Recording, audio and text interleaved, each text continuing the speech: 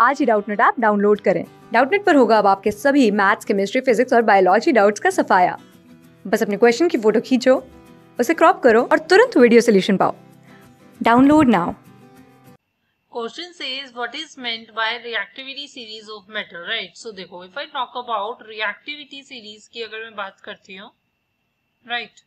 So you need to understand एक reactivity series एक ऐसी सीरीज़ होती है जिसमें आपके पास मेटल्स जो होते हैं, वो अरेंज होते हैं in the decreasing order of reactivity right so it is a series it is a series of metals that are arranged that are arranged in decreasing order of their reactivity right so ये एक ऐसी series होती है metals की जिसमें आपके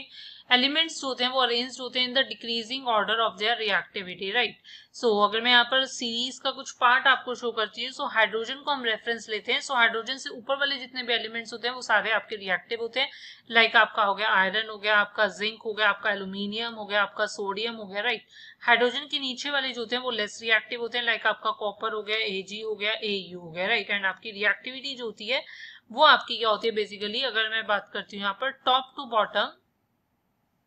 आपकी क्या करती है डिक्रीजेस राइट